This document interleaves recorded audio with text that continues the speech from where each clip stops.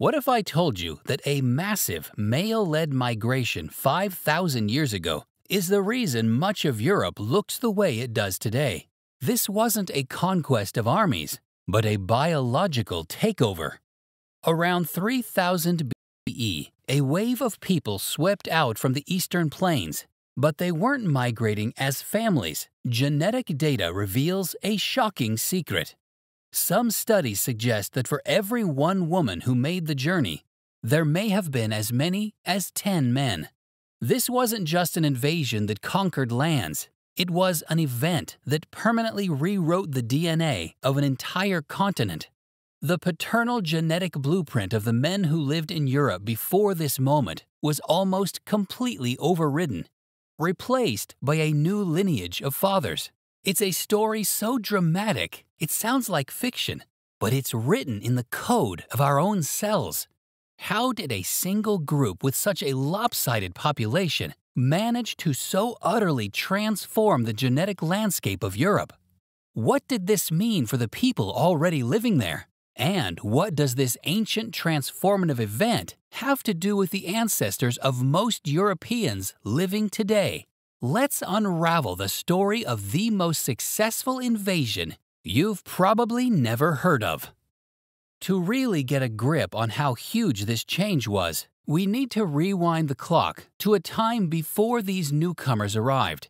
Picture a world we call Neolithic Europe or Old Europe.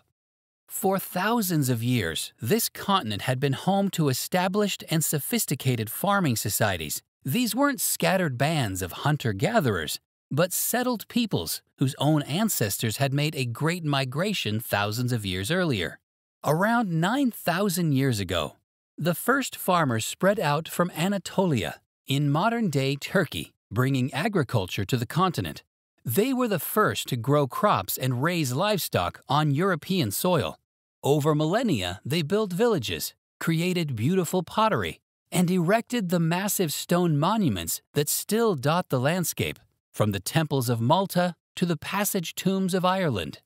Genetically, these early European farmers had a distinct signature, one they inherited from their Anatolian ancestors.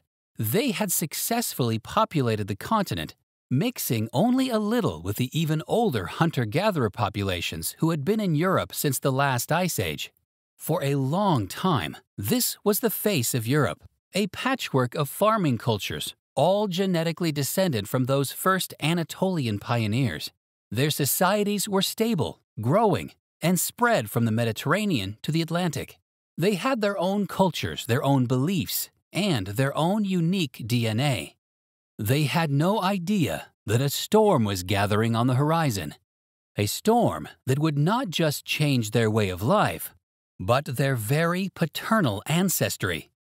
Far to the east, beyond the forests of old Europe, lay a vast, unforgiving sea of grass. This was the Pontic Caspian Steppe, a huge corridor of plains stretching from modern day Ukraine and southern Russia into Central Asia. And this was the homeland of a new and powerful culture, the Yamnaya. The Yamnaya weren't settled farmers. They were nomads, pastoralists whose entire world revolved around huge herds of cattle, sheep, and goats. Their name comes from the Russian word yama, meaning pit, because they buried their dead in simple pit graves under large earthen mounds called kurgans. But they had two pieces of technology that gave them a kind of superpower the horse and the wheel. The Yamnaya were among the first to truly master horseback riding and use ox drawn wagons for large scale movement. This gave them a level of mobility the world had never seen before. Entire communities could now roll across vast distances, seeking fresh pastures. Their world was one of constant motion, open skies, and a horizon that was always moving. Genetically, the Yamnaya were also a new blend. Their DNA was a fusion of two ancient hunter gatherer groups Eastern hunter gatherers from the Russian plains and a people from the Caucasus Mountains. Scientists call this mix Western steppe herder ancestry, and it was a genetic ingredient almost totally absent from Neolithic Europe at the time. They were tall, hardy, and perfectly adapted to a life of expansion. And pretty soon, they would turn their gaze to the west. Starting around 3000 BC, something dramatic appears in the archaeological record of Europe a new culture known as the corded ware. Named for its unique pottery decorated with cord impressions, it shows up suddenly and spreads like wildfire. For decades, archaeologists debated where it came from. Was it a local trend or a sign of invaders? DNA evidence has now provided the stunning answer. Skeletons from corded ware burials carried huge amounts of Yamnaya like steppe ancestry, in some cases, up to 75%. This wasn't just an idea spreading, it was a colossal movement of people. The corded ware culture was the footprint of the Yamnaya expansion into the heart of Europe. But the most shocking detail came when scientists looked closer at how this mixing happened. By comparing the DNA and the X chromosome to the rest of our DNA, they can estimate the ratio of men to women in an ancient migration. For the steppe expansion, the results were staggering. The data pointed to a massive sex bias. While the exact numbers are still debated among scientists, some studies estimated 10 migrating males for every one female. Let that sink in. This wasn't a slow migration of families. This was, in all likelihood, a rapid, aggressive expansion driven almost entirely by men. It paints a picture of young, mobile bands of warriors or herders pushing into new territories. What this meant for the Neolithic people they met is written in our male genetic lineages. The Y chromosome passed directly from father to son tells a brutal story. The old Y chromosome types of the Neolithic farmers, which had dominated Europe for 4,000 years, were largely replaced.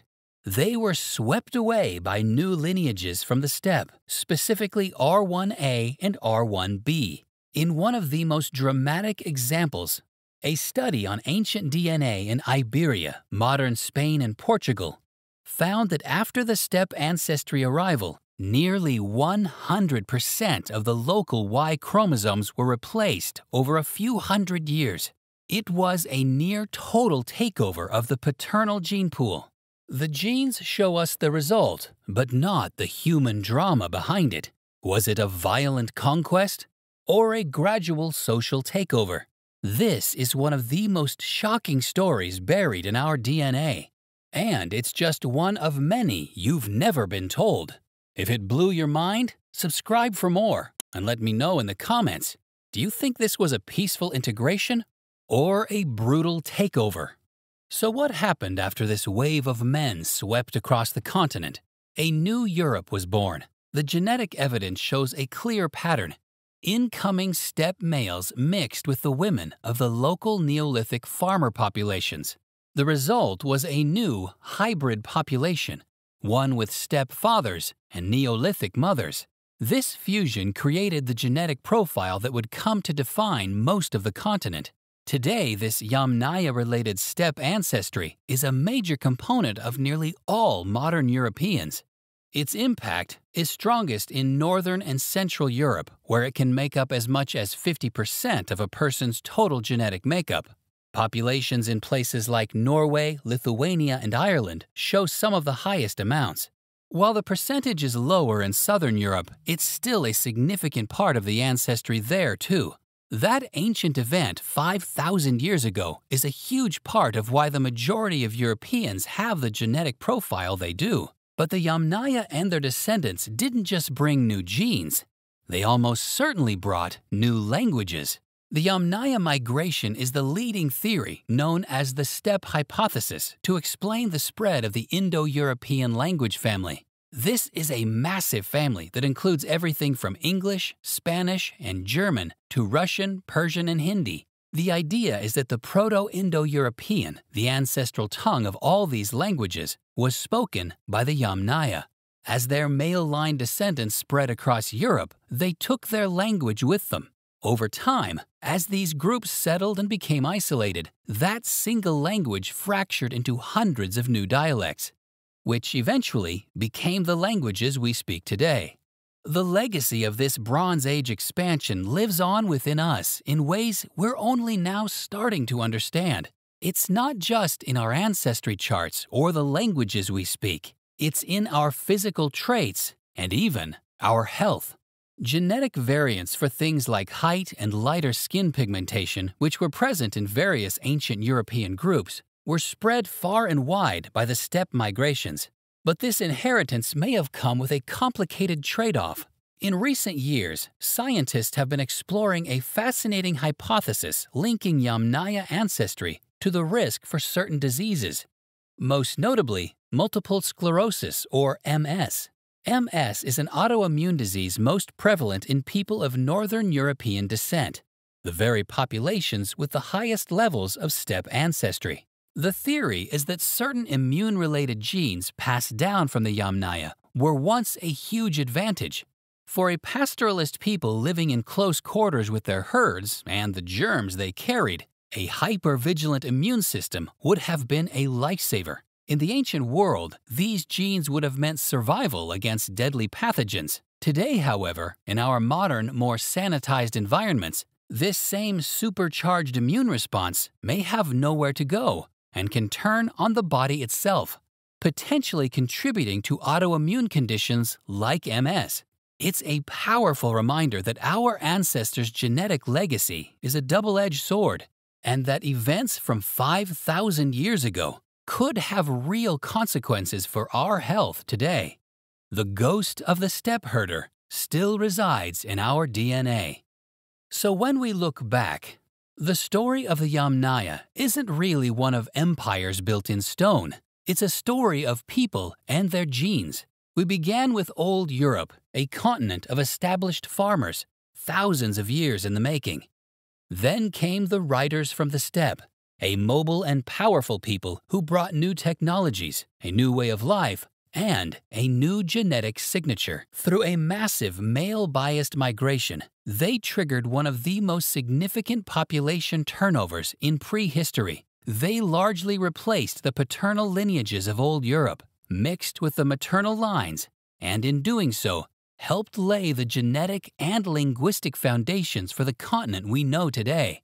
The face of modern Europe was forged in this Bronze Age genetic revolution a legacy of steppe fathers and Neolithic mothers that lives on in the DNA of hundreds of millions of people.